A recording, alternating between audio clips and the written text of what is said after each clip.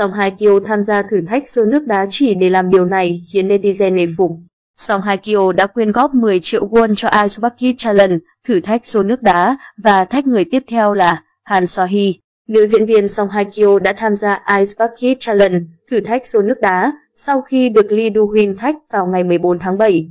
Để quyên góp tiền thành lập bệnh viện điều dưỡng Low Geric đầu tiên của Hàn Quốc. Low Geric là hội chứng sơ cứng teo cơ một bên, dội nước đá lên đầu hoặc thử thách xô nước đá, tiếng Anh, Ice Bucket Challenge là trò chơi thử thách nhằm nâng cao nhận thức về ILS, sơ cứng teo cơ một bên là căn bệnh khiến các tế bào thần kinh vận động của con người bị tê liệt. Khi bị dội nước đá giống như trong thử thách thì phản ứng thần kinh cũng phần nào xảy ra tương tự. Trò chơi này đang lan truyền với tốc độ chóng mặt trên Internet, với rất nhiều nhân vật nổi tiếng tham gia. Người chơi sẽ bị dội một xô nước chứa đầy đá lạnh lên đầu, ghi hình lại, rồi tung lên mạng xã hội và được quyền thách thức một hoặc nhiều người nào đó làm việc này. Trong vòng 24 giờ sau đó, người bị thách thức phải có câu trả lời. Nếu họ không đồng ý thì sẽ phải quyên góp tiền. Người bị thách đố sẽ được lựa chọn giữa việc quyên tiền cho một tổ chức từ thiện hoặc ngâm mình trong nước lạnh.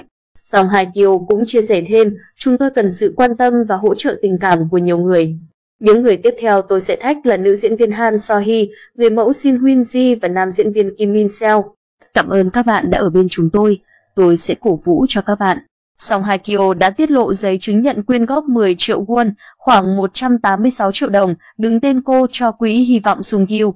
Trên giấy chứng nhận quyên góp có ghi dòng chữ Chúng tôi chân thành cảm ơn sâu sắc Song Haikyo vì đã tham gia thử thách xô nước đá.